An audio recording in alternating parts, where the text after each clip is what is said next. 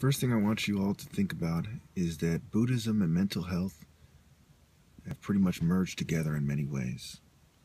The way they are doing things gives the Buddhist the advantage in contemporary society, modern day society. Um, even though the relationship Christianity has with humanity is sacrosanct, they are challenging it and they are doing things in a way that makes it hard for the Christian to survive. Granted, there are many Christians who believe in eating organic,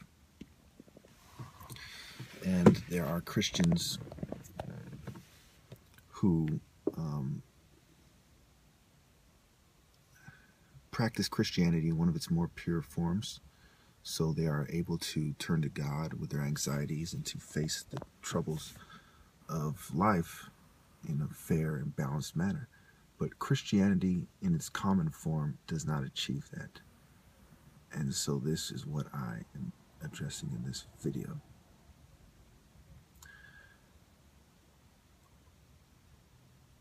Mental health, you know, when you talk about Buddhism in its com uh, common form, keeps people calm, very collected, keeps people mindful. It stresses certain principles that are also found in Christianity, but explores them more in a way that is more applicable in your day-to-day life and more conducive to survival in the new world order. And since they do not believe in god they are going to use that to indoctrinate people into buddhism using mental health the media and so on. And they will attempt to screen out the other philosophies. And buddhism will lead to their enlightenment or luciferian doctrine which believes that you can make yourself God by uh, reaching a sort of nirvana state or a state of enlightenment. Thank you. I hear you. Um, okay. What do you think of the fact that women do not appreciate me? And I've been talking to you a little bit about this. Uh, well, I think, you know, that just goes to show you how society's been taught that, you know, oh, you have to get with somebody who has monetary value. Because when you look at it, I have, you know, I, I have friends with many different backgrounds. Some rich, mostly poor. And nine times out of ten, like, I have this one friend in particular, she's Thai, she's always telling me, oh, I don't know why you take guys, you know, that don't have money or don't have things, and you know, you're just wasting your time. I just think that society's been conditioned or has conditioned the women of today's age to just basically look at a man and base his worth off of what he has and doesn't have. And unfortunately, you know what I mean? For you, it just seems like you just don't have enough. And so that's why I think, you know, it's bullshit. Because to me, there's much more to a man than just what he can offer monetarily. Sure, it's, you know, fun when you have cash, you could do a lot more things, but I think it's total bullshit and how that's what society expects. And that's why girls, you know, try, you know, to be nice and talking to you, but give you the slip because they feel like, you know, there's always going to be someone out there with more money or more monetary value. It, it's just complete bullshit. And I've dated on either side. I've dated guys who were poor and had nothing to offer. And then I've dated guys who were rich and had plenty to offer, but there was a big difference in how I was treated in between the two. So I'm kind of neutral, and I think totally unfounded because you should base you should base the relationships that you try to make off of how someone treats you, and then you can you know build together if that's the case. But again, society, you know, kind of perpetuated that you know we need to have these things in order to be happy. When you know you're just glossing over the fact someone's personality could also be worthwhile and, you know, a little more fulfilling. Worth. So, All right, so bullshit. bullshit, bullshit. Sorry. so go ahead. so uh, how long would you say you've been talking to me? Um, let's see. Hold on, I can tell you about how long. For a while, actually, a few months. Um, hold on, I got.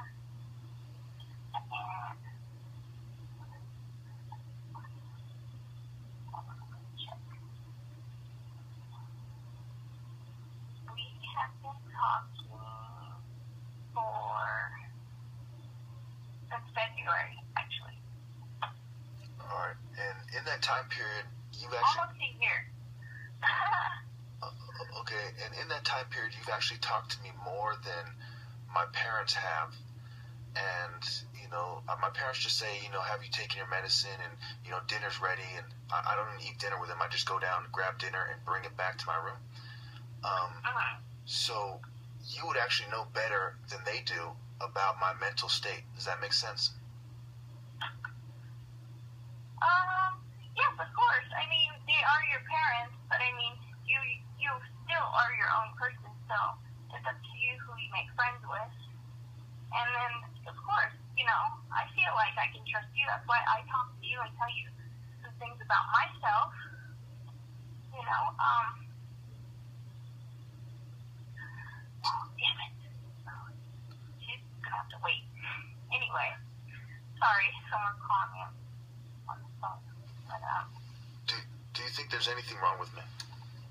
no, I I don't think there's anything wrong with you. I mean, like, I like the fact that you're open with me and that I can feel like I can trust you to tell you just about anything about my life.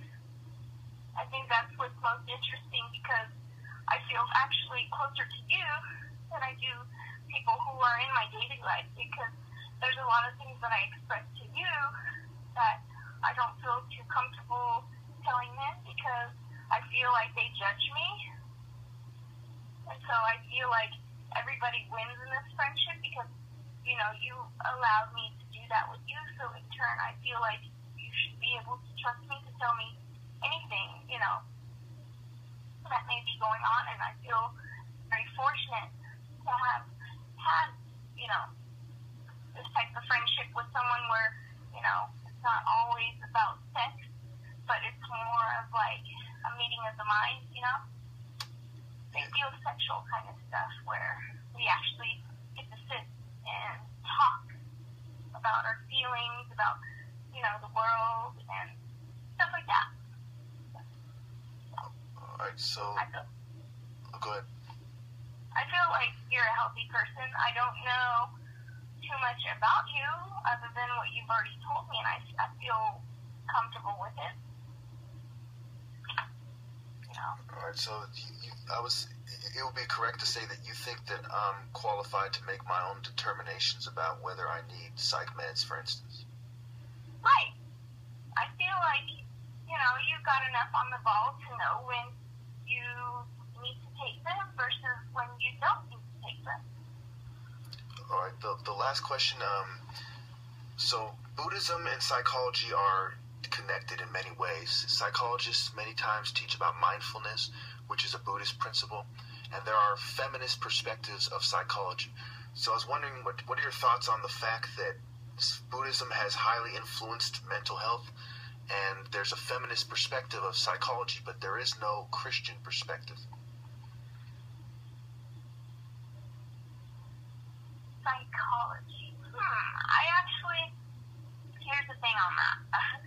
I had, you know, growing up, I had some issues, and I went to go see, you know, a psychologist, psychiatrist, and I actually didn't feel like they were helping me do anything. I was kind of scared to talk to them, to actually tell them, you know, what was really going on and how I was feeling, and the fact that there is a feminine overtone, I think, is not really fair because, you know, everybody needs some help at some point. Everybody needs somebody to talk to. Everybody needs, you know, that kind of filter to be able to feel comfortable. So I think it's total bullshit. And the fact that, you know, there's Buddhist overtones versus know, that just goes to show you not everyone's right. Everyone has a different perspective, unfortunately, and not everybody can see the usefulness and what it's like to be open, honest, and kind to somebody who is in need of that platform. To be able to be open and actually talk like real, true stuff with somebody who is not going to judge them. And I think they perpetuate the Buddhist ideals more so with psychology because they're trying to make you feel like there's an easiness. But there's really no one way of being right versus wrong, I think. You know, it's all up into your how you personally feel, how you personally view, you know, that sort of thing. Did you know that psychologists are some of the people who come up with what is socially normative? They're some of the social planners. Right. So when they start taking these certain, t- they start taking sides in politics, they are in a way attacking the opposition view, using mental health and trying to play them out as crazy. And there's already been, there's already um, have been uh, outspoken atheistic feminists who have said that in the future they intend to drug fundamentalism or fundamental Christians and treat them, you know, fundamentalist Christians and treat it as if it's a mental disorder. Well, of course, they want to play God, but you can't you can't do that, and that's the problem with the world. You know what I mean? They want to be in control of everything. So any way they can, they're gonna you know tell this person, oh well, since you don't fit the quote unquote norm, then you know you've obviously got some issues. And I think it's total bullshit because everyone's different. You know, everybody learns at a different pace. Everybody learns differently. So how is it right to, you know, stick everybody in one box and say, okay, if you don't believe this way, then something must be wrong with you. Right, uh, I'm, I'm going to end the interview there because I'm trying to keep it, you know, it's around 10 minutes right now. I'm trying to keep it kind of short. So, Okay, uh, that's fine. so what do you think about the fact that it's come out on mainstream news that our water supplies in almost every city are polluted with these psych meds that the water companies aren't unable to bleach out or erase from our water? So therefore, even the people who don't take psych meds, you know, are put in a position where it behooves them to address this problem of an over-aggressive marketing plan with psychiatric medications that don't work anyway, since they are poisoning our water. I think it's bullshit, I'm pretty upset about it because, you know, not everybody is as crazy as it seems. And who are they to say over, you know, somebody else's sanity or not? You know? Yep. And so all, all, all those people that think it's okay to turn a blind eye, you know, and they're making their coffee in the morning or they're cooking some eggs or something using the tap water, you know, it's it's it's stabbing them in the, you know, it's hitting them in the butt, stinging them in the butt. all right. So, um, what what do you think about the bigger picture of this? Psychiatry gives a lot of people work: lab technicians, ambulance drivers, psych ward staff, outpatient staff, therapists, psychologists. Mental health is a huge industry. The pharmaceutical company is the most profitable industry, and it touches on the military. There's military psychology, military psychiatry. So this becomes a matter of national security, since part of the security Hold of the hold on. Hold on, hold on. Sorry. Hold on. Shh, shh. Quiet.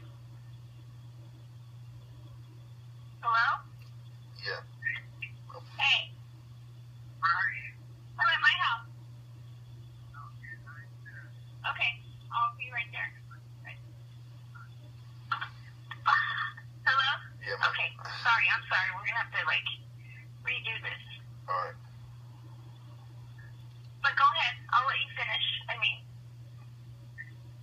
All right. Um, so this this all touches on the matter of national security because it it's about tax money, it's about jobs, it's about the economy, It's about financial security, national financial security. You know, financial security on a national level. So therefore, it touches on national security. When you're attacking this, in a way, you're attacking the finances of the West, especially America.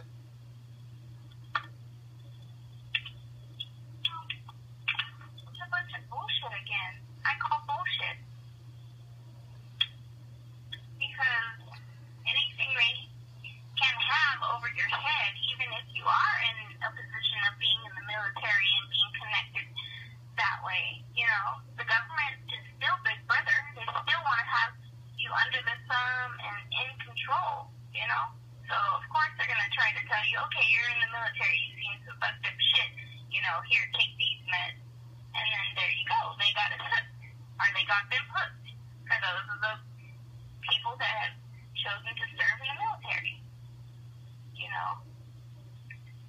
It's, it's ridiculous Yeah, on man. how society is ran, how this country is ran. and, and they'll have people, you know, they, they pass psychological testing to get in the military. And then when they're there, sometimes they are required to take medication because of their psychological state, which shows you that this, their psychological screening exams either don't work or their argument that there's a there's a the main component for mental illness is genetic instead of environmental holds no weight because when their environment changed, so did their mental state. Right. That's why I'm glad I don't have any fucking sons out here fucking trying to, you know, do the right thing. You know, I have a couple brothers that have, couple brothers, couple cousins, you know, that have been in the military. And, you know, the couple stories that they did tell me, shit, I wouldn't want to be there. All right, so the, the last part, last question, um, is about MK Ultra. Okay, the MK Ultra said, you know, one of the one of the uh, physicians involved in it said that it crossed their mind to put it in a water supply, put uh, drugs in a water supply to target a population. And that reminds me of the whole pharmaceutical company's complicity. They knew beforehand that there was a chance the water supply was going to be poisoned. They knew during it, during it being poisoned, and they know now, now that it's all over the news, and it's been all over the news for years and years. News uh, clip I saw was from 2008, I believe. So you know they're still pushing it in over active, you know, over an aggressive marketing campaign, and which is continuing to poison the water, while the water companies can't do anything about it. You know, and so that's one thing of MK Ultra. Another, um, this guy named Mr. White, who wrote a letter. He was one of the main people in it. He wrote a letter to the main guy, I believe, was a chemist, Sidney Gottlieb, and he said that MK Ultra was a success, even though several people committed suicide, some people had brain damage, many people's lives were ruined. He said he said he was happy it took place, and where else could a red-blooded American rape, pillage, and murder with the approval of the Most High? And that is me paraphrasing. And that's how you know this world is fucking filled with evil people. For sure. I mean, you know, me as just someone who is living day and age, that right there scares me to my core. That somebody would even think that's just funny or cool or acceptable. You know? and, and, and this is something that took place from 1955, I believe, all the way to the mid 70s. And it took place after the Nuremberg Code. The Nuremberg Code was after World War II, um, where they came up with a code that says no non-consensual experimentation because of the eugenics and you know experimentation on the Jews in the concentration camps. They came up with the Nuremberg Code, then they violated. It. So any idea people have in their head that magically this country would stop doing this because they've been busted for it or there's agreements that they shouldn't do it, you know, holds no weight because there was agreements before MK Ultra that they shouldn't do it, that they couldn't do it, an international agreement, and they still broke it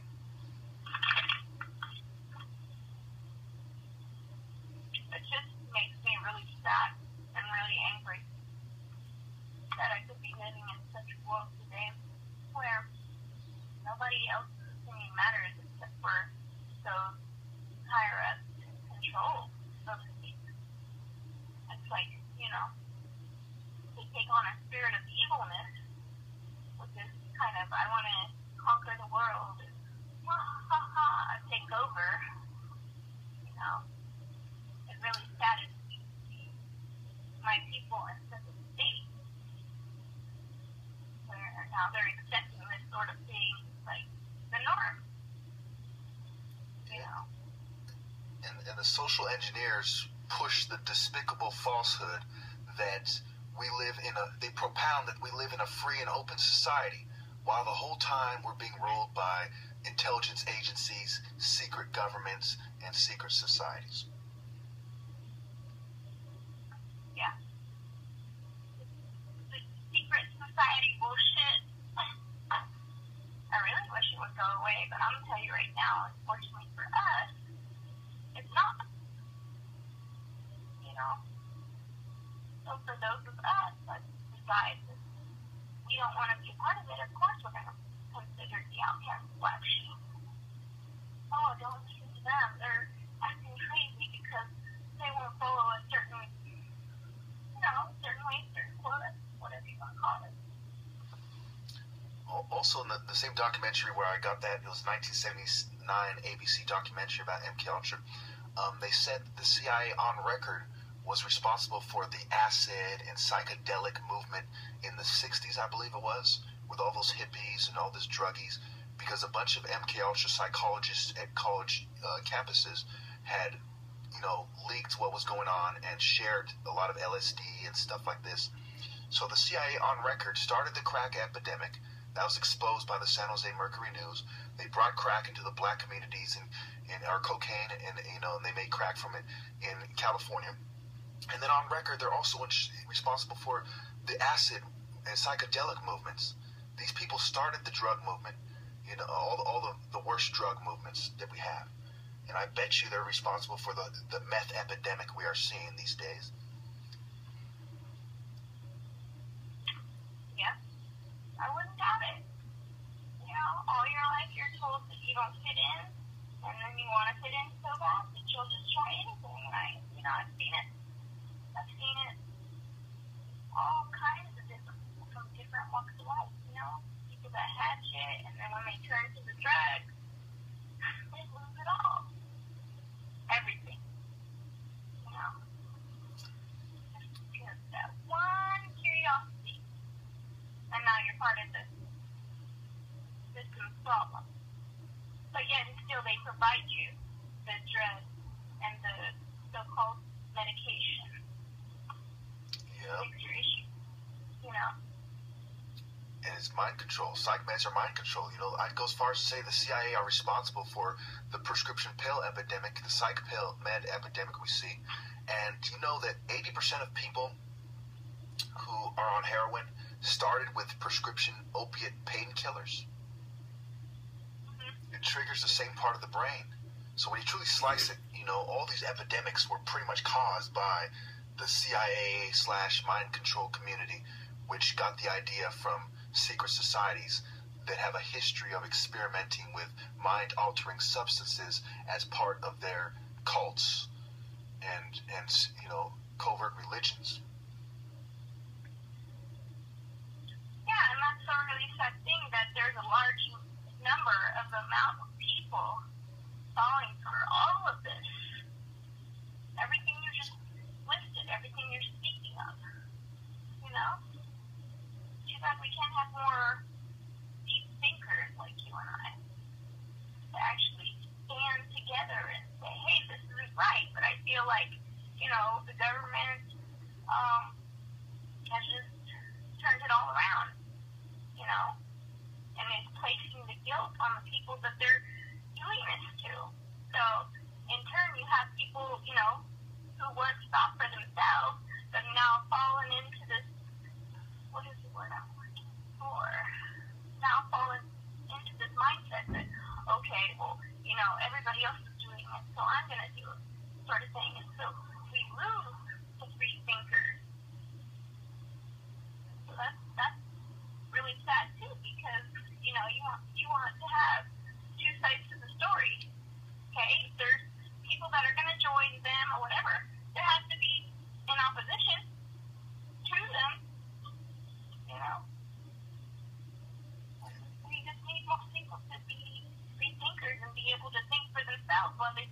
while, while it's still legal. You know, because I was reading something, and I don't know if this is off topic, but they're already charging people for oxygen. What's next? They're going to charge you because you think a certain way, because you choose not to fall prey to what they brainwash people with on a daily. Oh, that reminds me. What, what you're saying, let me just interject. I believe it's in China right now. Everyone has a, a credit score, and part of what it's based on is whether you have unsanctioned political speech on social media. If you put unsanctioned political speech on social media, they know that the system is therefore going to give it, you a hard time and make it harder for you to get a job, and you're more likely to be fired. So you, you your credit score drops. Yeah. Isn't that crazy? Yeah. That's that's that's kind of what you're talking about. You know, being a free thinker and be, being open, openly expressing free thought is punishable financially, socially, politically. It's only a matter of time before this country sees it the same way. Because even, I, even when I went to University of Phoenix, we were told that it's not a good idea to make videos where you show, you express, you know, you um, display exuberant behavior. You know, you know, say I get on, you know, my videos, I get all angry and I start yelling, you know, in some of my videos for a good reason. You know, that's exuberant behavior, and employers will look into that and make it harder for you to get a job. So even here, it will affect your, your credit score in America. It, it's just they don't have it down to that science yet. They don't do it like that. But because it will affect your job, and it, which will affect your income, it will have some sort of an effect on your credit score and your eligibility to get loans from the bank and so on and so forth. And I'm sure the banks already consider is this guy a political activist? I'm sure off the record the banks consider that when they look at some of the more substantial loans that they're considering. Yeah, it's awesome know, it's going to continue to be that way because I feel like there's not enough resistance what they consider to be their normal, unfortunately. So people like you and like me are going to always be bullied because we think differently and we feel differently about what's happening now in these days and times. Unfortunately for us.